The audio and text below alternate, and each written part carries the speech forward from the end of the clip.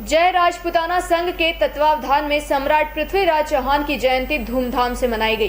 पदाधिकारियों ने समाज के लोगों से पृथ्वीराज चौहान के पद चिन्हों पर चलकर देश व समाज की सेवा का संकल्प लेने का आह्वान किया और बुढ़ानिया में चित्र पर पूजन कर मिठाई बांटी गई। संघ के हितेंद्र सिंह चौहान ने इतिहास बताते हुए कहा कि पृथ्वीराज चौहान एक राजपूत राजा थे, जिन्होंने बारहवीं सदी में उत्तरी भारत के दिल्ली और अजमेर साम्राज्यों पर शासन किया था। पृथ्वीराज चौहान दिल्ली के सिंहासन पर राज करने वाले अंतिम स्वतंत्र हिंदू शासक थे। राय पिथोरा के नाम से मशहूर इस राजपूत राजा ने चौहान वंश में जन्म लिया था।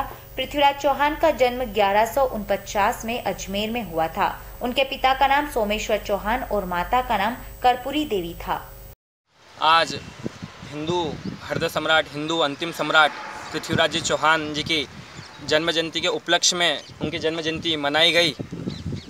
ग्राम, समस्त ग्राम उड़ानिया के जो राजपूत सरदार हैं, हर घर से एक युवा यहाँ पर उपस्थित है ग्राम उड़ानिया से राजपूत सरदार और सभी ने जन्म जयंती मनाई गई और इसी के उपलक्ष्य में सभी जो पृथ्वीराज चौहान जी का इतिहास था, पूरा इतिहास सभी को बताया गया कि सम्राट पृथ्वीराज चौहान क्या थे कैसे युद्ध जीते और उन्होंने मुगलों से कैसे अपना लोहा मनवाया।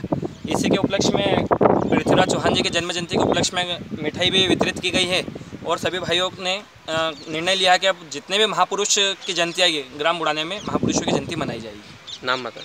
भवन हितेंद्र सिंह ठिकाना बुढ़ानिया जय राजपुताना संघ। और जय राजपुताना संघ द्वारा जयंती मनाई गई और यहाँ पर हर भाइयों का सहयोग रहता है। मतलब प्रत्येक घर से समाज की हर जगह में सहयोग रहता है, जहाँ पर मनाई गई है।